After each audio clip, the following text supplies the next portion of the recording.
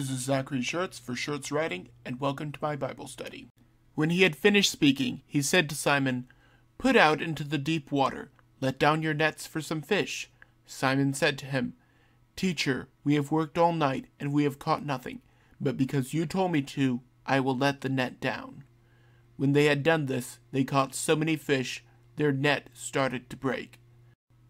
They called to their friends working in the other boat to come and help them. They came, and both boats were so full of fish they began to sink. When Simon Peter saw it, he got down at the feet of Jesus. He said, Go away from me, Lord, because I am a sinful man. He and all those with him were surprised and wondered about the many fish.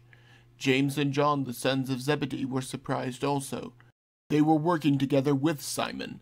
Then Jesus said to Simon, Do not be afraid. From now on you will fish for men.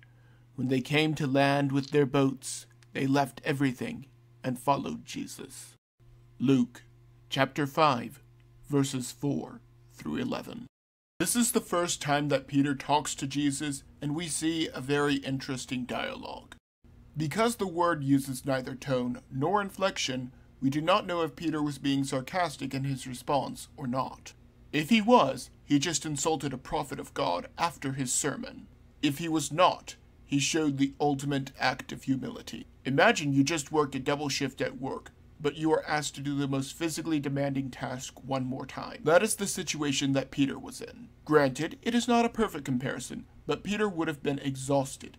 If he was being sarcastic, that is a lot of work to go through to humor someone. Peter showed pure faith in who he believed to be a prophet, based only on his word. Peter may get some flack for denying Jesus thrice, but this was amazing faith. Thank you for joining me, and remember to always be the watchman.